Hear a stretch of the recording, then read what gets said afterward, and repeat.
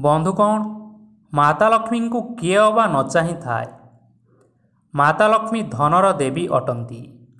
ତାଙ୍କର ଆଶୀର୍ବାଦ ଦ୍ୱାରା ମନୁଷ୍ୟ ନିଜ ଜୀବନରେ ବହୁତ ଆଗକୁ ବଢ଼ିପାରିଥାଏ।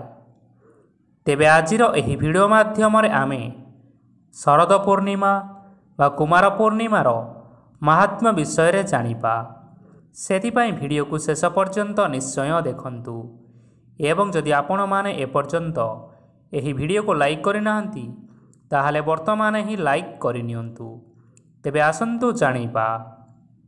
ବନ୍ଧୁଗଣ ଶରଦ ପୂର୍ଣ୍ଣିମାକୁ ଆମେ କୁମାର ପୂର୍ଣ୍ଣିମା କହିଥାଉ। ଏହି ଦିନ କୁମାରୀ ଝିଅମାନେ ନିଜ ପସନ୍ଦର ଜୀବନସାଥୀ ପାଇବା ପାଇଁ ଓଷାବ୍ରତ କରନ୍ତି ଓ ଚନ୍ଦ୍ରଙ୍କୁ ଆଞ୍ଜୁଳିରେ ଖଇ ଟେକିଥାନ୍ତି।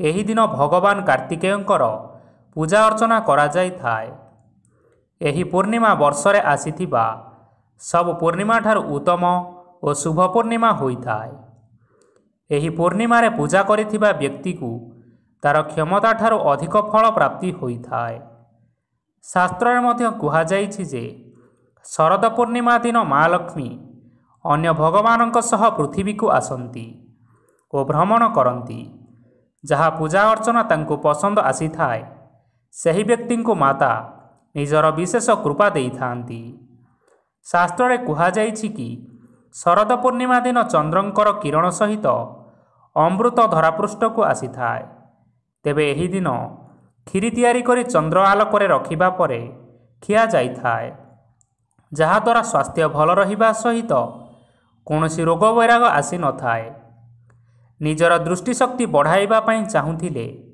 ଶରଦ ପୂର୍ଣ୍ଣିମାରେ ଜହ୍ନ ଆଲୋକରେ ବସି ଛୁଞ୍ଚିରେ ସୂତା ଲଗାଇବା ଦ୍ୱାରା ଆପଣଙ୍କର ଦୃଷ୍ଟିଶକ୍ତି ବଢ଼ିଥାଏ। ତେବେ ଶାସ୍ତ୍ରରେ ଉଲ୍ଲେଖ ଅଛି ଯେ ଲଙ୍କାର ଅଧିପତି ରାବଣ ଶରଦ ପୂର୍ଣ୍ଣିମା ଦିନ ଦର୍ପଣ ମାଧ୍ୟମରେ ଚନ୍ଦ୍ରକିରଣ ନିଜ ନାଭିରେ ଲଗାଉଥିଲେ।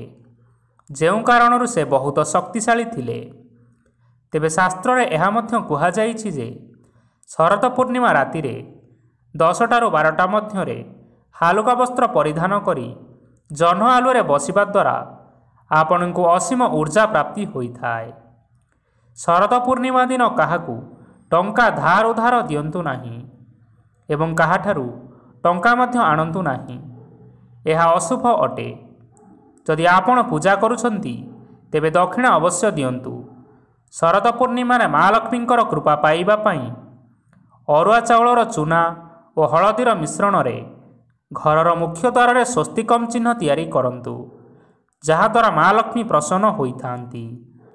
ତେବେ ବନ୍ଧୁଗଣ ଏହା ଥିଲା ପବିତ୍ର ଶରଦ ପୂର୍ଣ୍ଣିମା ଅଥବା କୁମାର ପୂର୍ଣ୍ଣିମାର ମାହାତ୍ମ୍ୟ ବିଷୟରେ। ଆଶା କରୁଛୁ ଭିଡ଼ିଓଟି ଆପଣମାନଙ୍କର ପସନ୍ଦ ଆସିଥିବ।